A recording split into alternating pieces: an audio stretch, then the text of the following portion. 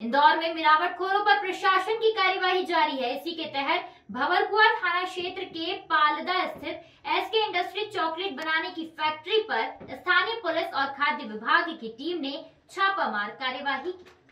Factory में बड़ी मात्रा में गंदगी और केमिकल युक्त पाउडर से चॉकलेट बनाने का कार्य किया जा रहा था। केमिकल युक्त पाउडर से आम लोगों के जीवन पर खासा असर पड़ रहा था। इसी के तहत खाद्य विभाग की टीम ने चॉकलेट के सैंपल को लेकर लेबोरेटरी भिजवाया। वहीं पूरे मामले में स्थानीय पुलिस ने भी फैक्ट्री संचालक अनिल अग्रवाल के विरुद्ध धारा 420 और खाद्य विभाग अधिनियम के तहत मामला दर्ज करते हुए संचालक को हिरासत में ले लिया है।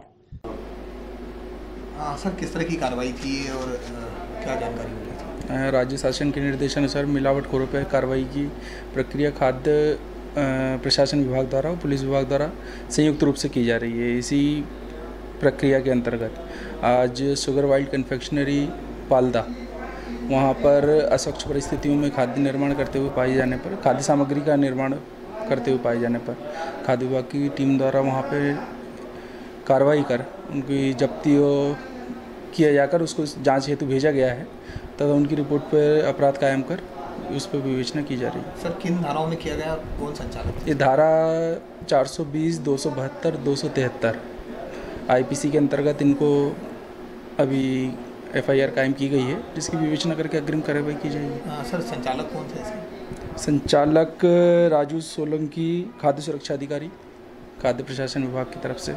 नहीं ये किसकी किन किसकी फैक्ट्री थी जिसके यहाँ चल रही थी? अच्छा सर इसके संचालक थे अनिल पिता विनोद अग्रवाल ये निवासी इनका एमआईजी एरिया वहाँ पे। अ, सर ये क्या बनाते थे प्रोडक्ट बताया? ये चॉकलेट। इस तरह के प्रोडक्ट्स बनाते थे। आपका परिचय? जी? आपका परिचय मैं उप निरीक्षक जयेंद्र शर्मा थाना बोवरकुआ इंदौर।